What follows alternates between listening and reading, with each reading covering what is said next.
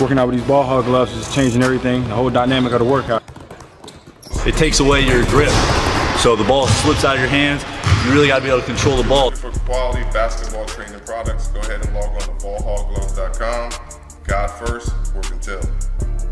For your service. Steven Adams taking the jump against Isaiah Stewart. Adams wins it. That's 37 of 48 on the season, Michael. Cunningham with the drive on Brooks. That one rims around off the glass and in. Rebound on the floor. Ja comes away with it. Ja fake.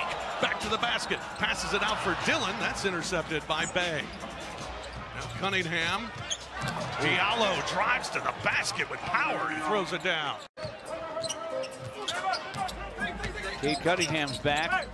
This is deep. And Luka Garza converts. 11 in the first quarter. That ties a career high for Ziaire Williams, 11 points. 4 of 4 from the field. All five starters back on the floor for the Grizzlies. Stewart off the glass gets the roll. Dillon lined up the entire way. Hayes to Cunningham. His long three is good. After he started 4 of 4, Cunningham now getting comfortable. Knocks down on two in a row. And it's back to a 10 point lead for the Grizzlies right here. Good thing for the Grizzlies. Each time Detroit's got it back into 10 or single digits, Grizzlies have gone on a nice little run themselves. Although Cunningham now starting to feel it. He's finding that range right there. The area of his game he was working on doing pregame warm-ups. Diallo now with an explosive drive to the basket. We've seen him explode a couple of times. He gets that one off the backboard and in. And dominate, big fella.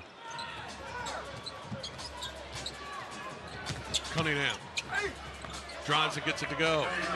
Guys are playing more zone than man-to-man. -man. We'll see if they can, the Grizzlies can shake them out of that. Dillon trying to get around the screen, guarding Cunningham. Cunningham gets it to Diallo under the basket so and throws easy. it down with two hands. So, this yeah. both Brevin and Pete talked to them both today. They're feeling fine, and hopefully they'll be back here real soon. Killian Hayes knocks down the three.